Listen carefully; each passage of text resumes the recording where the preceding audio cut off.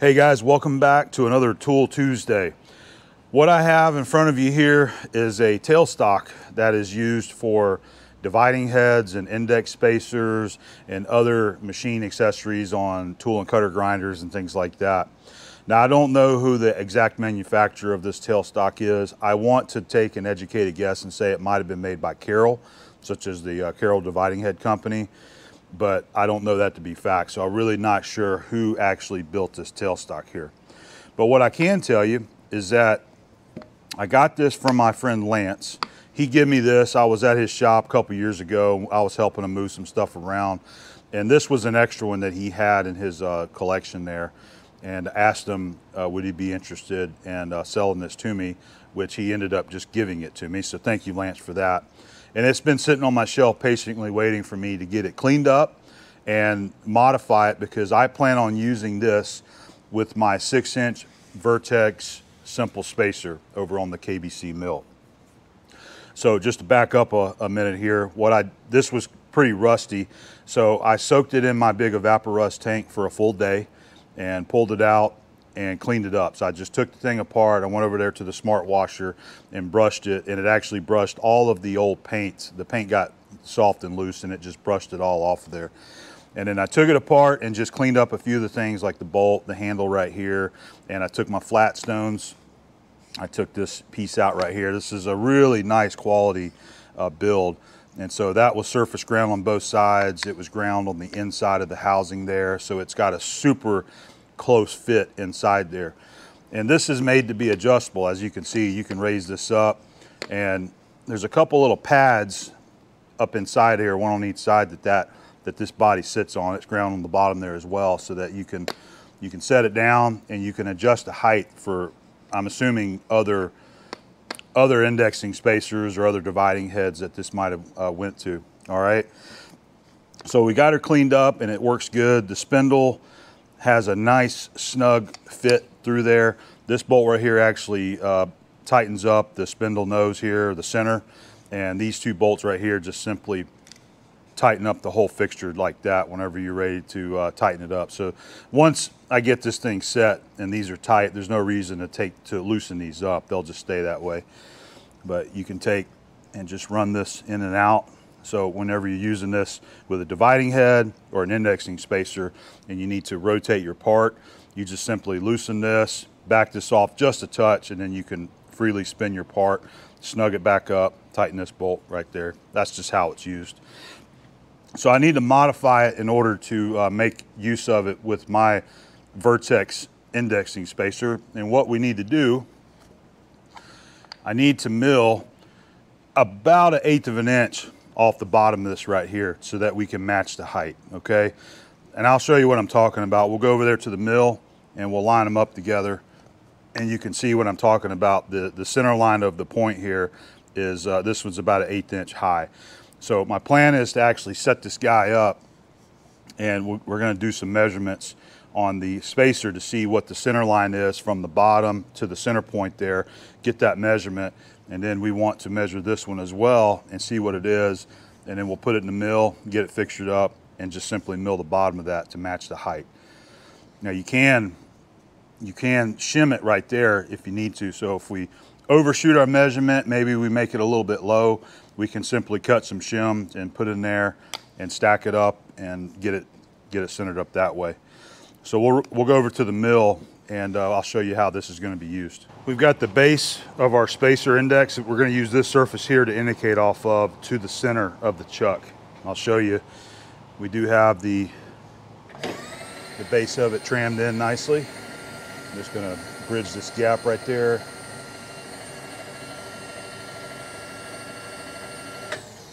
All right, nice and straight on the base of that spacer.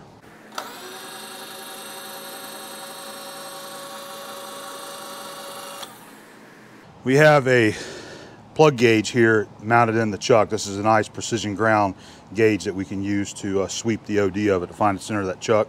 So we've got our Blake coaxial indicator set up. We'll bring it down. I've already got it centered up just to speed this up so you, so you can see as we do our sweep that needle's moving maybe a half a thou out. So that's going to be our center of the chuck right there. And we'll zero out our DRO, which I'm gonna do right there. Zero, zero. Now that we've got the center of the chuck swept and we have our zero location, we're gonna put this edge finder in there and we'll be able to come over and down and touch off this edge of the, the, the base of it there. And we'll have to subtract 100 thousandths because this is 200 thousandths diameter. But once we do that, that should give us our exact center line.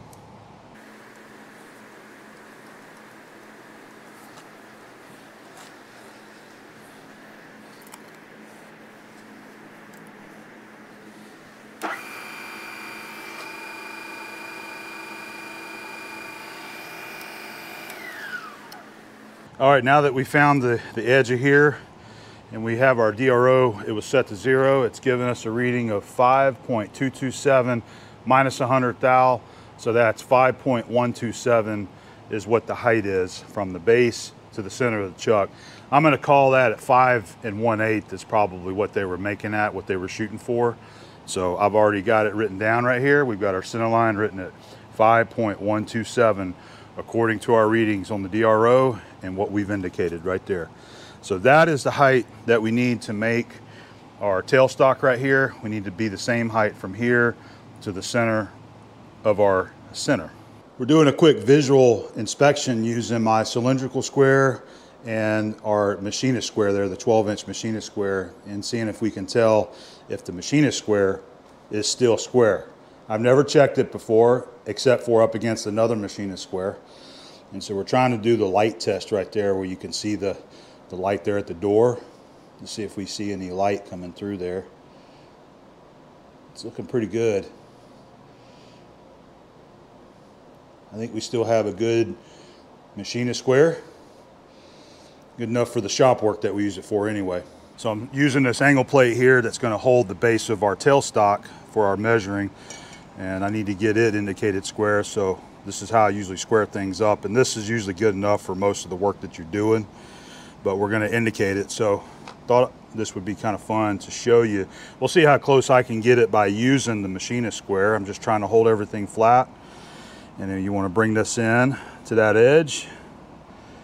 And we'll snug it up so it doesn't move. Now let's run the indicator across there and see how close I got it by just using a machinist square. All right, there's zero. I'll move you so you can get a better view of that.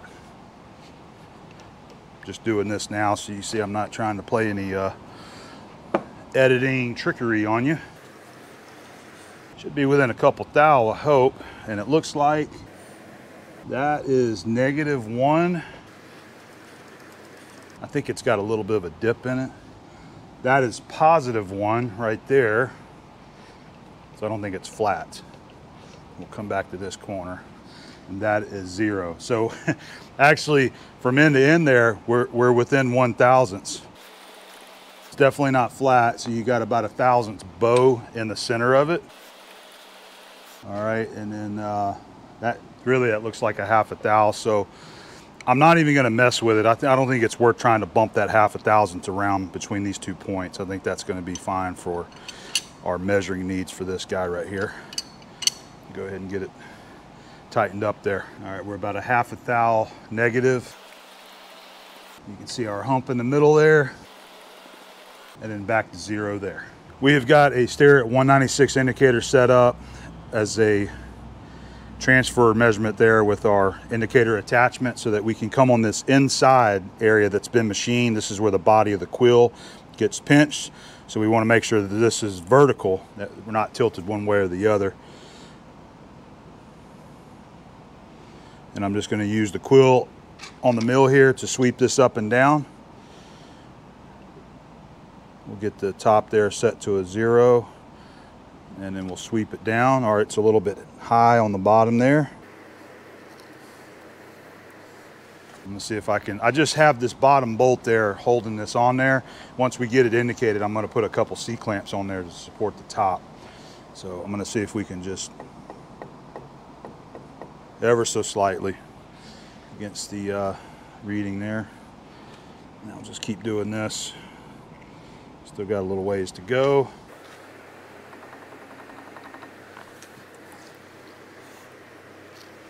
Still about one thou. So we'll bump it a couple more. All right, that's on two thou. Three thou, so we still got about one more thou to go. Let's move it a couple more. All right, that's on zero. There we go. Jumping around about a half a thou, but I would call that, that should be pretty straight and in line right there. go ahead and snug this, this bottom clamp a little bit further.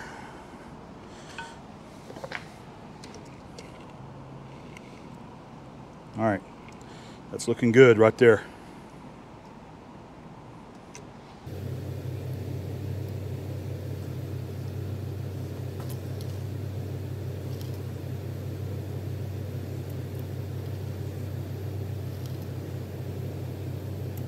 We got our quill body clamped back in there with our bolts. We've got this uh, tightened down against the center. We're just lined up there with the center point.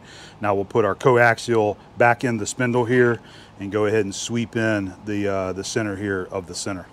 Okay, we've got the center here indicated. We'll move that so you can see the needle changing a little bit there.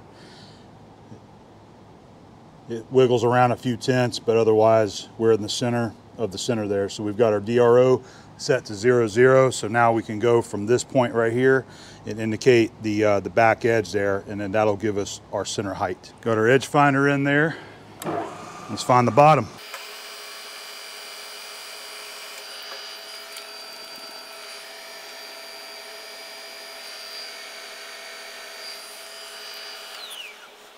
All right, so this is the number we want negative 5.3456. So subtract 100 thousandths from that. That's going to give you 5.245. So I'm assuming that that was a nominal size of five and one quarter being the center ditch from here to here. So when I did my first measurement, just using a, a scale, I was saying that they were about an eighth inch, eighth of an inch off, and that's exactly what they are, about an eighth of an inch there. So I'm gonna write this measurement down so that we have it and then we can move on to setting this guy up so that we can machine the bottom of that. We're gonna uh, clamp this in the vise right there so that we can do a simple uh, mill operation on the, the back side of our body there.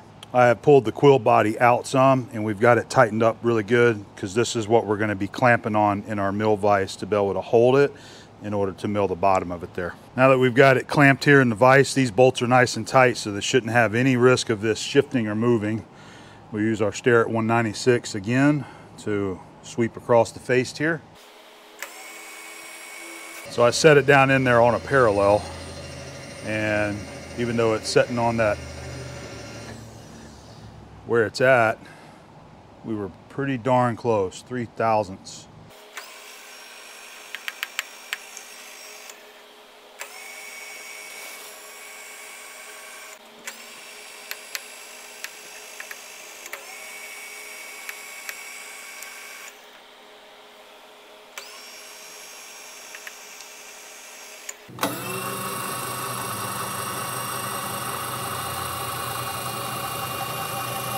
All right, so there's our two measurements right there, and that's the difference of what we need to take off that. 118 thousandths and six tenths, all right? So one way that we can check this as we cut it is we've got the uh, Starrett digital height gauge here, and we can bring this guy down. Let's just go ahead and uh, look at it and see where we're at. That says 1.590. Come over here and let's look at this side right here. 589, so it's showing about a thousandths difference right there. So what we'll do is just go ahead and set a zero. Let's come down and we just touch it. And then we're going to zero it right there. Now, as we take cuts, we can come in here with our height gauge and inspect it and see what the difference is. Now we've got a zero set with our digital height gauge.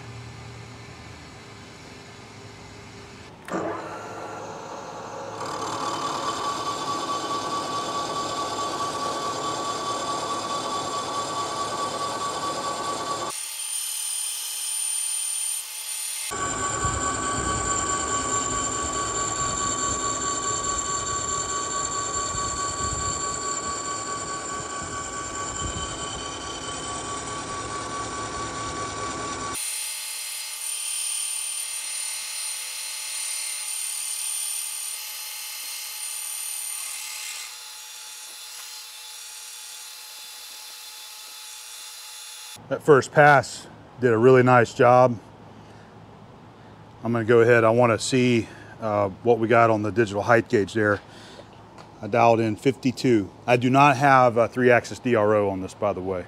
So we just, I always have to rely on that right there. I just wanna see if we're dialing in what we actually took. 52. All right. We'll come over here and move that, move to that side and cut it too.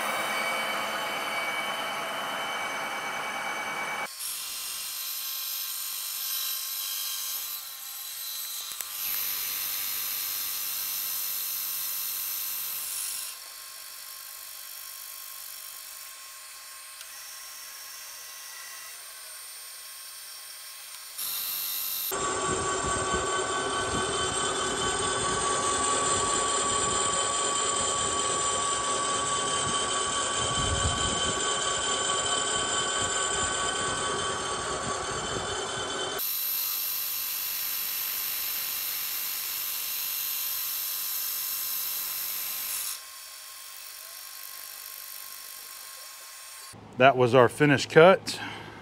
Let's go ahead and inspect it with our height gauge and see where we landed for our cut.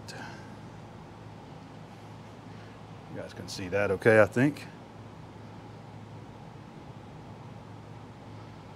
119. Now this reads in half a thousand, uh, half a thousand increments there. So we were looking for 118 and 6 tenths and it's showing that we got 119 so we I think we are we are good to go for doing it on a milling machine like this. That's about as good as you're asking for right there. That says 119 and a half. I could have pushed a little bit a little bit harder down that time. I don't have it locked. 119 and a half. So maybe we're within a thousandths of my target, 119. So it's showing half a thousandths between the two right there, but I'm happy where that landed right there. And that should be good to go. And if we have to, if we need to, we can absolutely shim this to, to bring it up just a, just a tad. So I do need to come through here and cut the key again. That's gonna be a 5 8 uh, key through there. I've also got to uh, make a couple keys for this a couple for the spacer as well. I'm just gonna get that stuff done and I'll bring you guys back when we're ready to bolt this stuff down.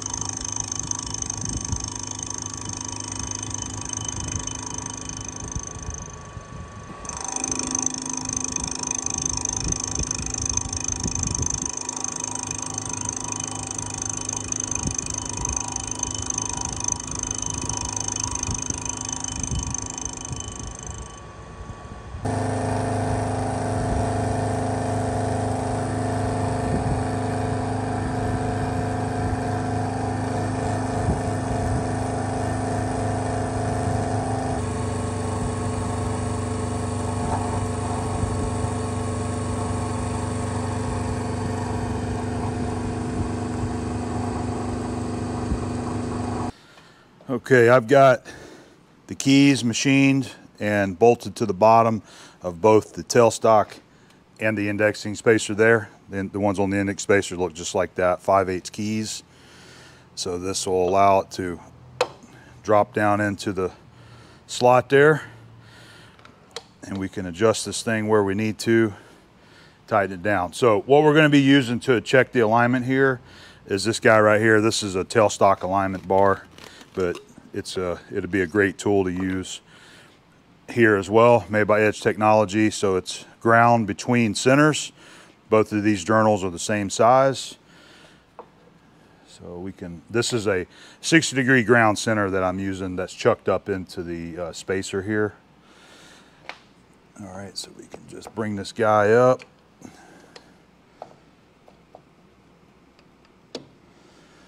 Just like that. We'll go ahead and tighten down our T-bolts here. And then you can adjust the uh, tailstock pressure with this guy right there. Loosen it up when you want to spin it. And then when you're ready to do the machine work, you just kind of snug it up a little bit. And tighten the, the bolt for the split there. It just snugs up the center. All right. So there we go. We'll set up a, we'll use the Starrett 196 back plunge indicator and what we'll do is sweep across the top of these two journals to see where we're at at elevation change, you know, if we're aligned.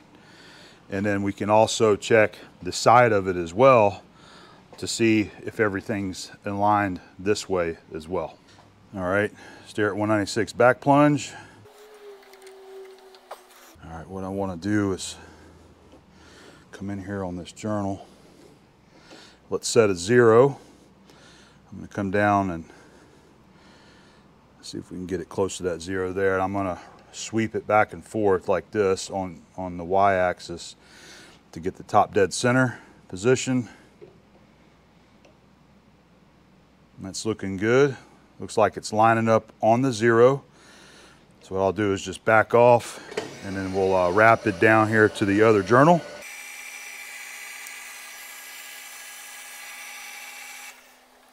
Right, we'll come sweep across this one. That is super close. It was, I would say that's within a half a thousandths of being on the same right there. So that is awesome. So our elevation alignment looks pretty well spot on as far as our height of both of the uh, center points matching up.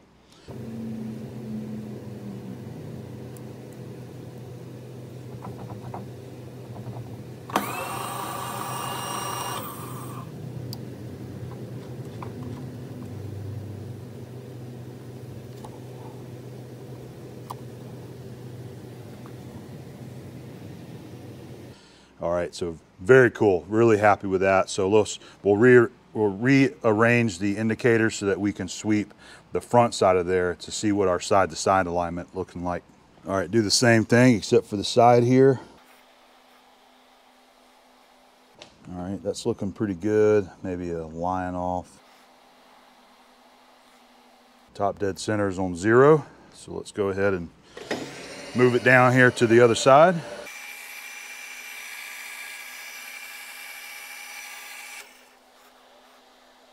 Right, so looks like we're showing about three, three and a half thousandths difference right there.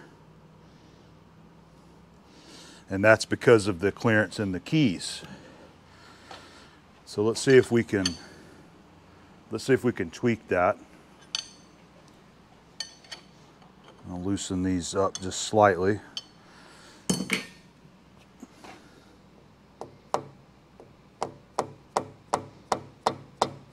The old taparoo.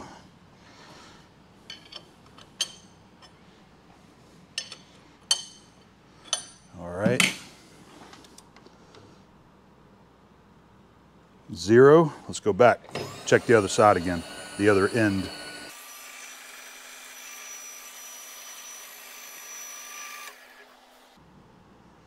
Look at that. Zero, about a half a line over. So that is looking good. When we moved it from uh, this right side, we were at zero. So I don't know, maybe about a half a thou or so off of uh, center. So that's looking pretty good. That right there is uh, nice and aligned and I'm really happy with the results on how this turned out.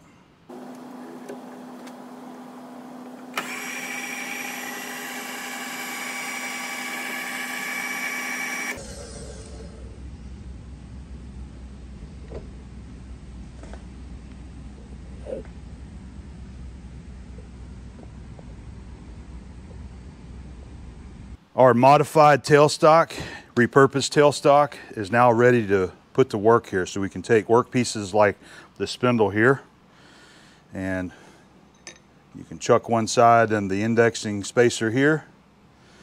And now we can support the other end using our tailstock just like this.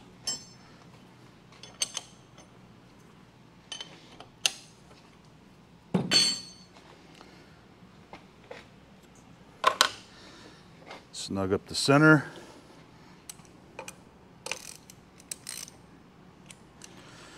And now we are, we are ready to go. That looks good. Real happy with that right there. So you come in here to do your machining, your hole drilling, whatever you got to do. And then we'll just go ahead and loosen this clamp up for our video here.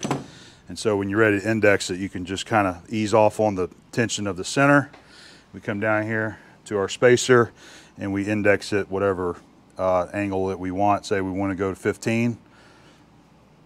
There's 15 degrees or maybe you want 30 degrees. This will index and drop in every 15 degrees there. So that's how that works. And we can come in here to this and we can do our key, we can do our drilling and tapping, and then our drilling on this flange right here, all in one operation and get that done. So that's going to be uh, super convenient to have set up now with our Vertex indexing spacer. And I'm real happy with the results.